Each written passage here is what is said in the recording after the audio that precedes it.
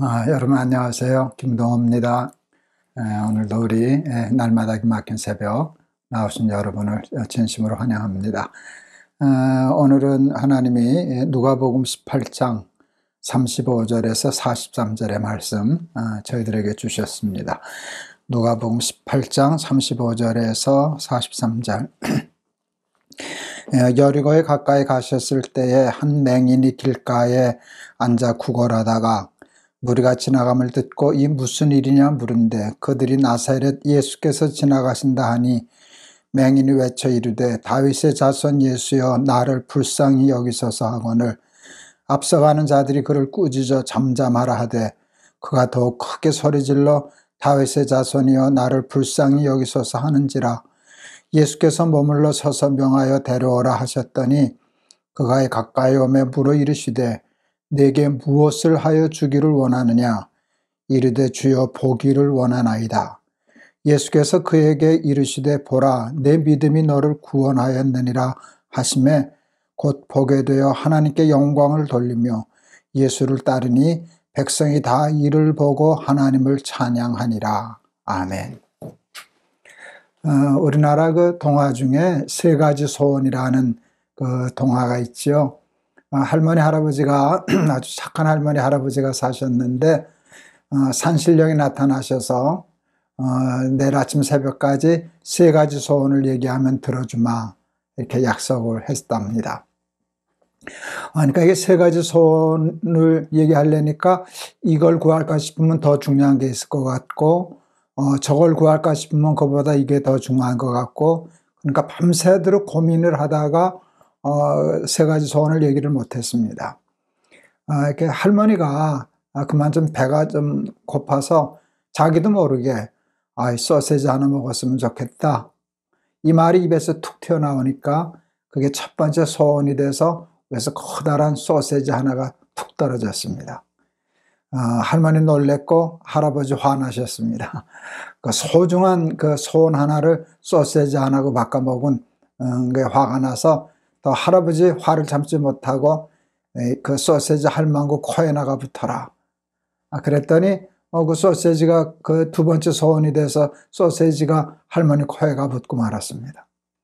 어, 순식간에 소원을 하나밖에 남지 않았습니다.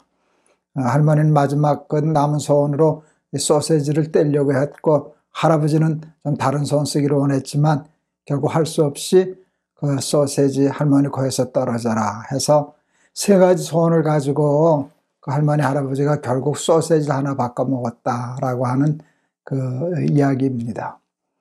아, 이건 재미도 있지만 매우 중요한 교훈을 우리에게 가르쳐 주어요. 여러분, 만약 하나님이 오늘 저와 여러분에게 나타나셔서 내일 새벽까지 너희가 세 가지 소원을 얘기하면 내가 다 들어주마. 그렇게 얘기하신다면 여러분은 첫째는 이것이고요. 하나님 둘째는 이것이고요. 셋째는 이것입니다. 라고 얘기할 준비가 되어 있을까요? 우리도 당황하지 않을까요? 결국 우리도 소세지 하나 바꿔 먹고 귀한 소원 다 아, 놓치지는 않을까요? 오늘 본문은 그 앞을 보지 못하는 맹인, 그래서 어, 문 앞에서 구걸하는 맹인 거린 이야기입니다.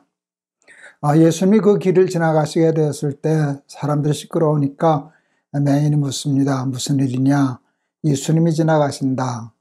예수님이 지나가신다는 말, 말을 듣자마자 소리 지르기 시작합니다. 다윗의 자손 예수여 나를 불쌍히 여기십시오. 여겨주십시오. 사람들이 말리고 잠잠하라 해도 아, 잠잠할 리가 없죠.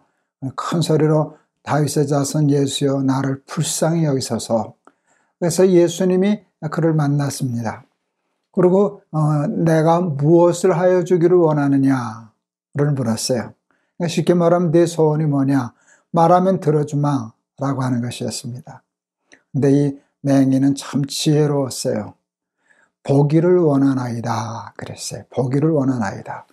우리는 이 성경을 읽을 때 당연한 것처럼 느껴져요. 어, 그럼 보기를 어, 맹인이니까 당연히 보기를 원하나이다 아, 그랬을 거라 생각하지만 그게 그렇게 평범하고 단순한 얘기가 아닙니다. 여러분, 지금도 그렇지만 당시에 맹인이 눈을 뜬다는 것은 불가능한 일이었습니다. 불가능한 일을 소원으로 얘기한다라고 하는 일은 예수님께 대한 특별한 믿음이 없이는 안 되는 일이었습니다. 눈은 뜰 수 없는 거다라고 포기한 상태라면 그 맹, 그 거린이었으니까 무엇하기를 주기를 원하나, 원하느냐 이랬을 때 아, 당연히 돈을 좀 주십시오. 어, 먹을 것이 없습니다. 어, 살 돈이 없습니다.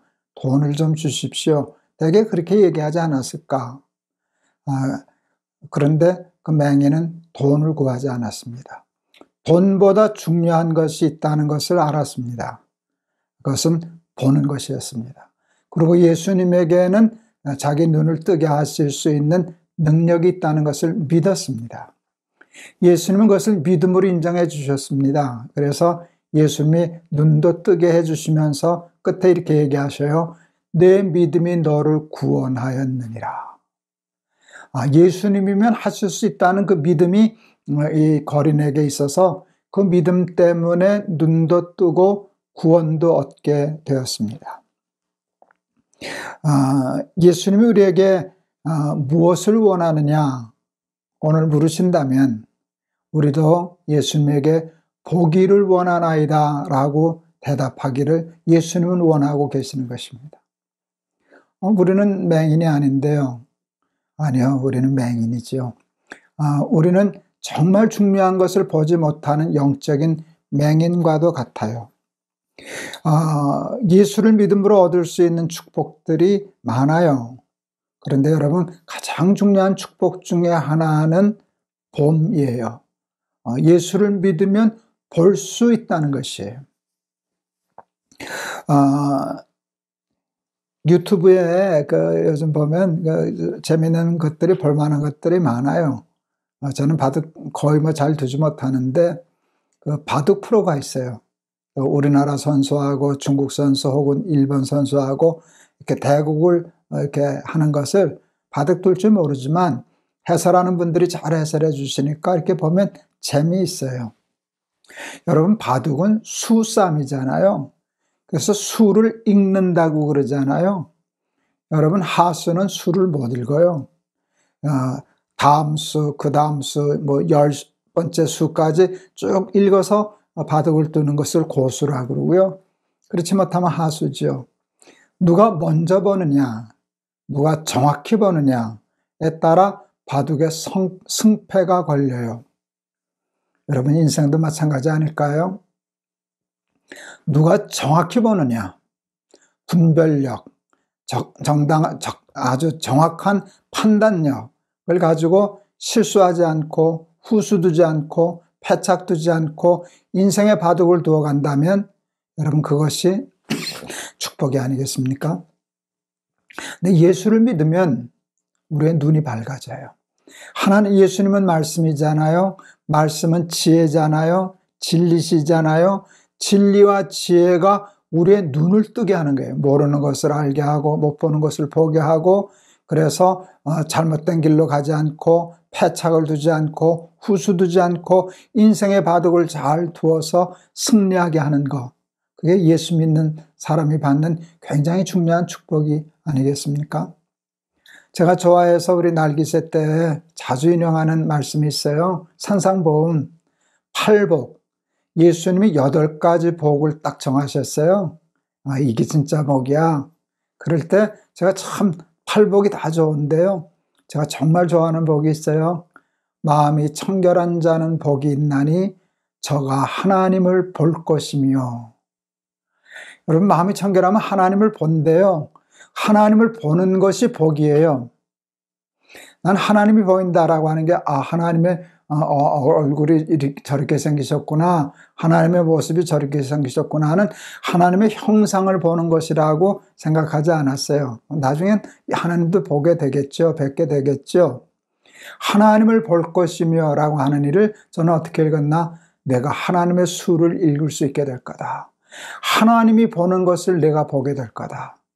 그래서 하나님의 수로, 하나님의 지혜로, 하나님의 그 수로 내 인생의 바둑을 두게 될 것이다.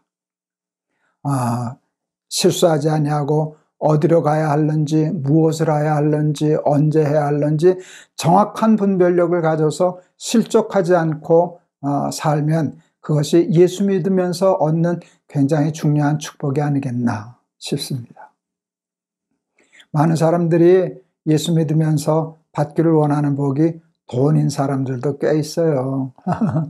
어, 예수 믿으면 부자 된다. 그렇게 하면 사람들이 혹 하거든요. 예수 믿으면 성공한다. 아, 그렇게 하면 사람들이 좋아하죠. 예. 그리고 아멘, 아멘 하죠. 아, 부자 되고 형통하는 게 나쁠 게 뭐가 있어요? 또 그것도 하나님 앞에 기도할 수 있는 것이지, 뭐, 어, 뭐, 그, 구태 그게 잘못된 일이라 그럴 거야 뭐가 있겠어요? 많은, 그게 첫 번째 서원일 수는 없어요. 내가 무엇을 하여 주기를 원하느냐? 너 왜 예수 믿니? 내가 무슨 복을 내게 주랴? 라고 할 때 사랑하는 우리 날기새 가족 여러분 오늘 예수님에게서 배운 것처럼 오늘 성경에서 이 맹인 거린에게서 배운 것처럼 우리도 예수님께 보기를 원하나이다. 보기를 원하나이다. 하나님 영적인 맹인과 같습니다.